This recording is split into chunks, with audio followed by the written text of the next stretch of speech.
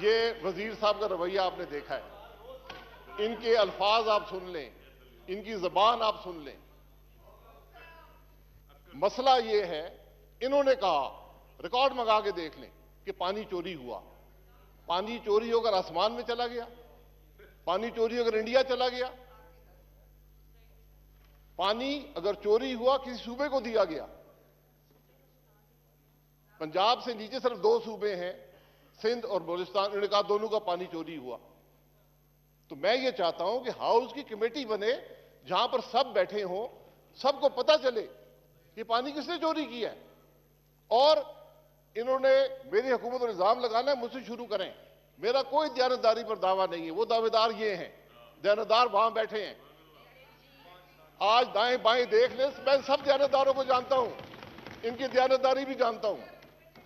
آپ نے الزام لگانا ہے الزام لگائیں مجھ سے شروع کریں۔ میری کابینہ کے لوگ یہاں بیٹھے ہیں باقی کابینہ کے لوگ بھی ہیں۔ کوئی کرپشن کے الزام ہماری حکومت پر لگے، میں حاضر ہوں۔ پرائم منسٹر آ کر الزام لگائے ہاؤس کی کمیٹی بنائیں اسپیشل کمیٹی بنائیں اسٹینڈنگ کمیٹی میں بھیجیں۔ آپ نے اس کے بعد چور کہا، میں آپ کو، آپ کے والد کو چور کہوں گا۔ یہ میری بات سن لیں۔ جو لفظ بولے گا، دس لفظ سنے گا۔ یہ بات آپ سن لیں۔ آپ نے کمیٹی بنانی ہے۔ ابھی بتائیں کمیٹی بنائیں۔